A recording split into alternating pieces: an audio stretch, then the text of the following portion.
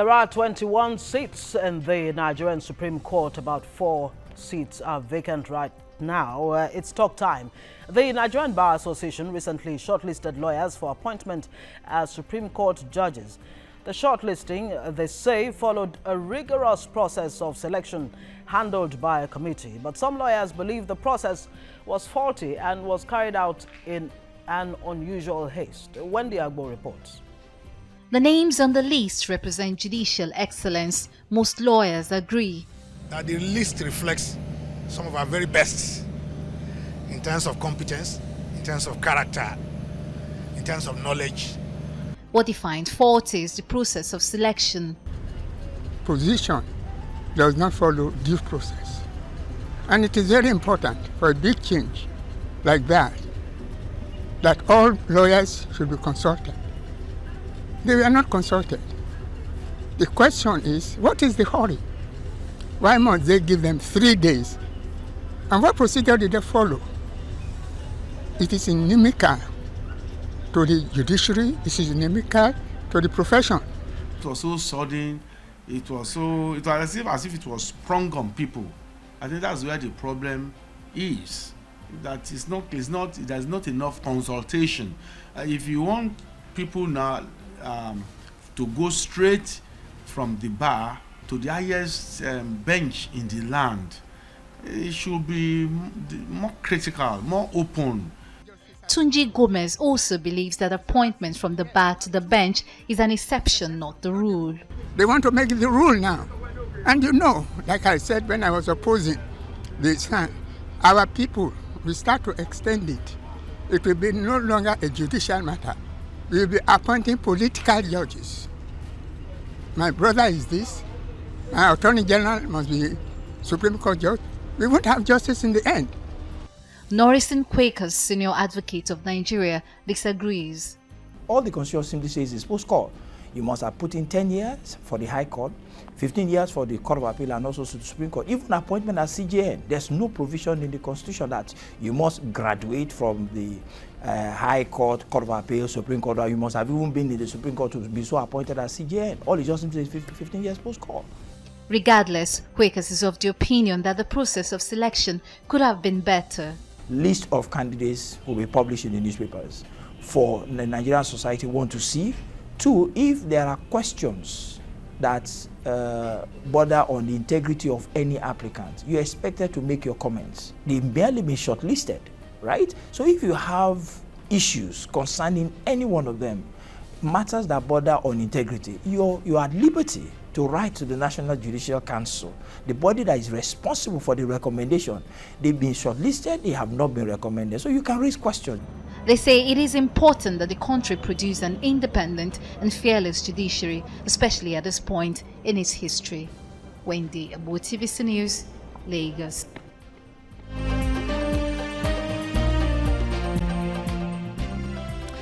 Well, the new CJN Walter Onnoghen seems to have stirred the hornet's nest uh, with this call uh, to the NBA to nominate lawyers, senior lawyers, and of course other lawyers uh, to, you know, to be recommended for the Supreme Court uh, seats.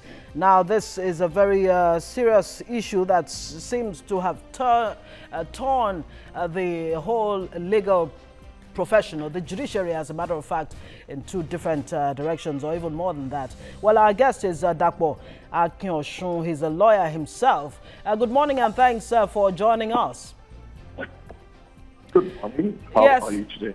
So what is fundamentally wrong or is there anything wrong with uh, the CJN asking that uh, lawyers or senior lawyers uh, be what's that word now? I'm just trying to look for the right word to use. Now, what's wrong with lawyers actually uh, being in the Supreme Court? Uh, yeah, being selected as uh, Supreme Court judges. We have examples that uh, happened in the past. You had uh, uh, Teslim Elias, you had Augustine Nnamani, who performed excellently well. They came from the bar to the bench. There is certainly nothing wrong with uh, lawyers being selected from the mm. bench. I mean, from the practice. In fact, the Constitution makes provision for the appointment of judges in section 231. Mm-hmm. And the only requirement that the, Supreme, that the Constitution has is that such lawyers must have been practicing for at least 15 years. That is all that the Constitution asks for. So it is perfectly in order for the Chief Justice to appoint lawyers directly from practice.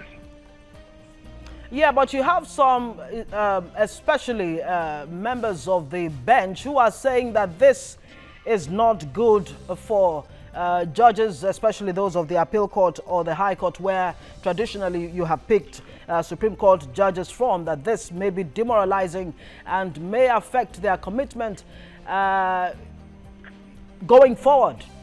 Um, especially uh, members of the bench who are saying that this is not good for uh, judges, especially those of the appeal court or the high court, where traditionally you have picked uh, Supreme Court judges from, that this may be demoralizing and may affect their commitment uh, going forward? Yes, certainly, because the practice the, has been to select or to promote judges from the Court of Appeal mm -hmm. to the Supreme Court. It, it can't have a demoralizing effect on judges who have been in the system and have been working at their optimum with a view to elevation to the higher court. However, one has to be careful in the reasoning for the selection. Mm -hmm. If you look the world over and if you go to the United States, there is no provision that the, uh, the lawyer, the judge must come from the court of appellate courts to go to the Supreme Court. In our constitution, it is not written there either. Okay. So it is a matter of style of whoever is at the top at the time. And as we've seen, some of the very brilliant judges we've had in the Supreme Court have come directly from practice. Mm -hmm. So it doesn't necessarily affect the quality where the person is coming from. On the other hand, it may actually lead to dynamism for somebody who has been outside the bench to come straight to the Supreme Court. He would have fresh ideas, he would have fresh inspiration, and there's also the possibility of bringing in younger people to the bench. If you find, if you look in other countries, particularly the United States, which I looked at, you will see that the judges have been called to the Supreme Court between the ages of sometimes between 30, 43 and 55.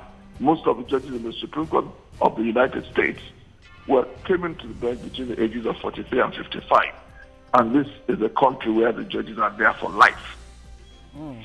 It's interesting you talk about the Supreme Court in uh, places like the United States.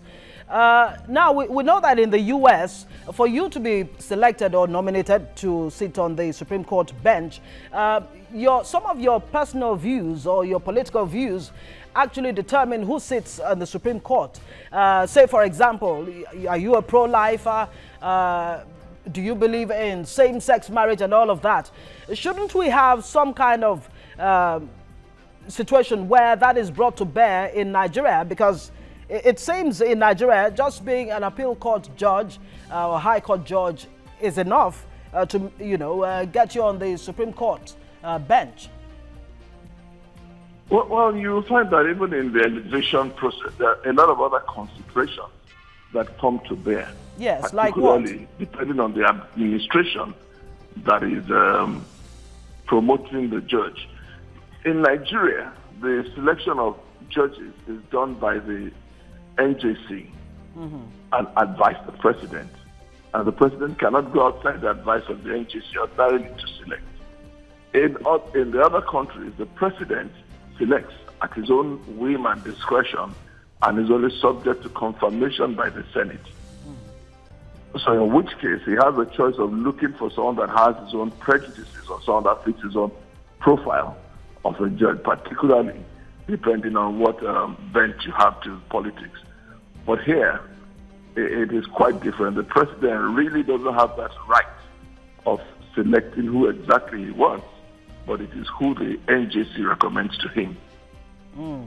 And I'm feeling that you might want that to change. But uh, let's uh, give our viewers uh, some background to this. Uh, Mr. Dapo you want to hold on for us? Let's uh, shed some more light on this for our viewers. Now, Section 231, subsection 3 of the 1999 Constitution, as amended, provides that a person shall not be qualified to hold the office of Chief Justice of Nigeria or of a Justice of the Supreme Court unless he is qualified to practice as a legal practitioner in Nigeria and has been so qualified uh, for a period of not less than 15 years. But a few weeks back, Chief Justice of Nigeria, Walter Onnoghen, asked uh, the Nigerian Bar Association uh, to nominate its eligible members for possible appointment to the Supreme Court of Nigeria.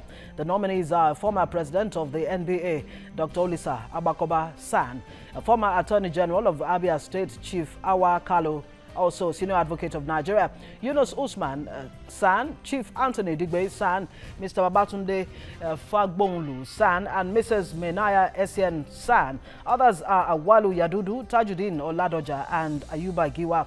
The nine nominated lawyers were called to the bar between 1978 and 1988. Now, there have only been two of such appointments since independence, and that it happened under the military rule, late Justices Teslim Elias and Augustine Nnamani, who were both attorneys general of the Federation at different times, they were appointed straight to the Supreme Court from the bar, with Elias later becoming Chief Justice of Nigeria.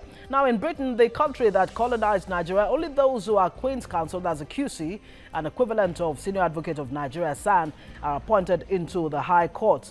The 17 justices that the Supreme Court presently has is the largest in the world. Okay, there you have it.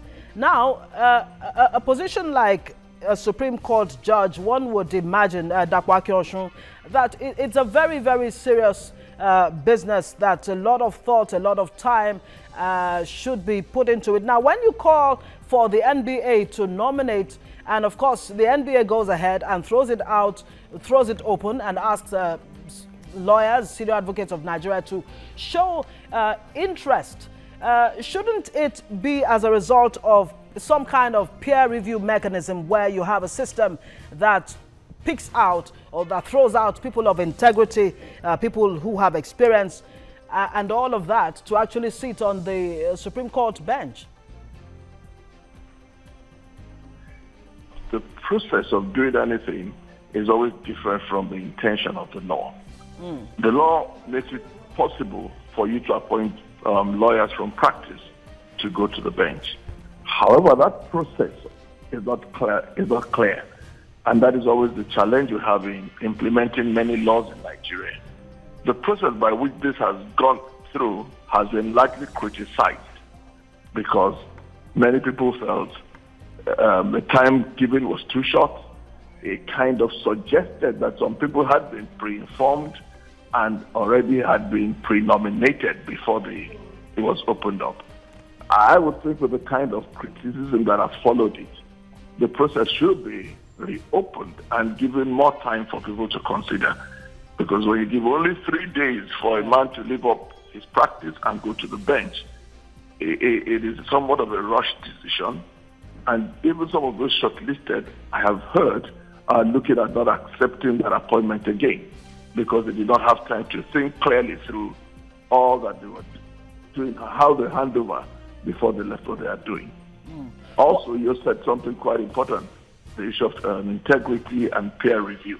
Mm. Whilst even the law may find some people innocent, colleagues know which lawyers or who is a straight lawyer, who is not, and what your practices are or bent. And other people should be given that opportunity to address who is being nominated before it comes to the bench.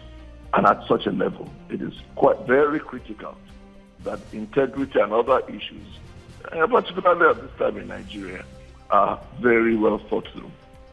Mm, what, what do you think the CJN Walter Onnoghen had in mind in throwing this open?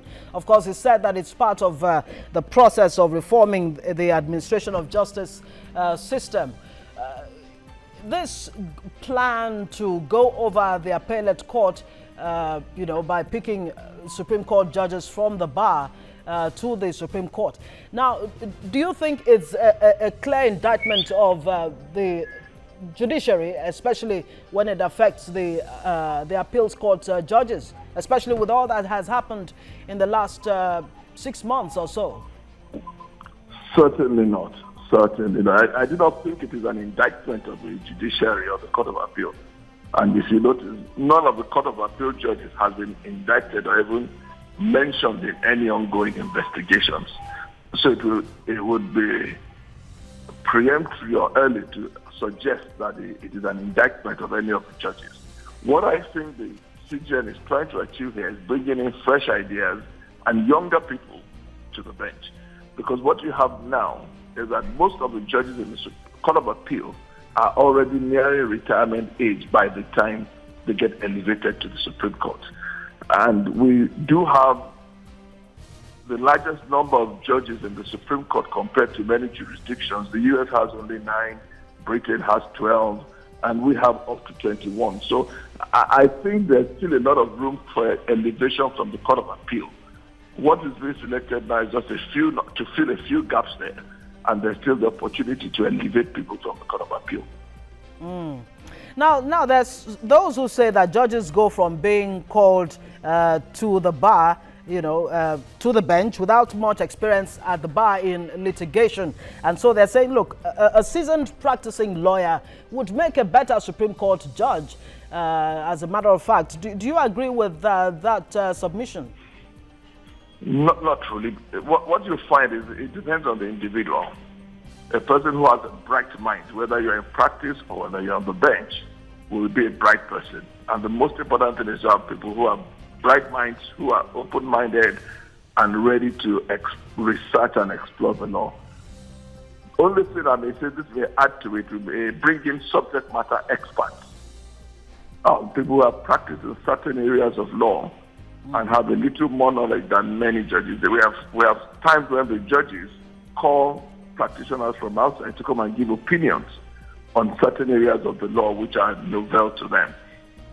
So I think bringing in such people from the bar to the bench will be a big advantage to the bench as well of having multiple ideas. And once the person has a bright mind, he will still be able to operate at the level of which the other judges are. Don't forget that we're all lawyers at some point in time and started from that place.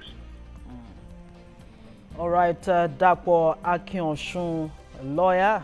Thank you so much for joining us on TVC Breakfast this morning. Of course, uh, you can be sure that this discussion will uh, continue. Thank you so much. You're very welcome. Have a good day. And that's how we wrap TVC Breakfast this uh, beautiful Monday morning, the 6th day of March. It's been nice knowing that you're there uh, to watch uh, the show. Of course, uh, let's do this again tomorrow. My name is Ngozi Alibu signing out. Bye now. Take care.